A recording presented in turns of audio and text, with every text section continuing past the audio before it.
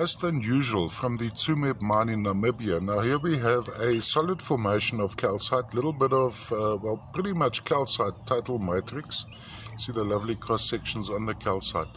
Now on top of the calcite you have tiny crystals of duftite and included in some of the calcites you have mottramite and over coating over the top are tiny crystals of dioptase.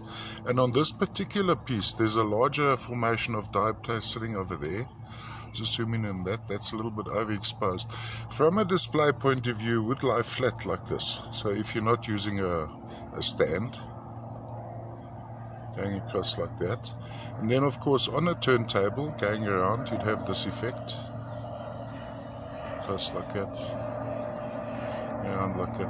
I've still left my sticker on here because we've had a few rainy days, so I wasn't able to do videos. Um, I just uh, processed the pictures first.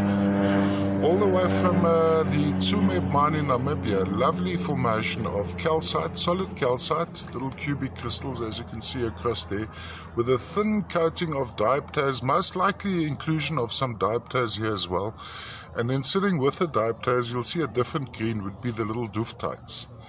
Quite unusual for the Tsumeb mine. Um, I was fortunate to, to uh, uh, get hold of a few pieces of this material. I've actually, this is the first time I've encountered this. From Namibia, the famous old Tsumeb mine, a famous copper and uh, lead mine in the central Namibia.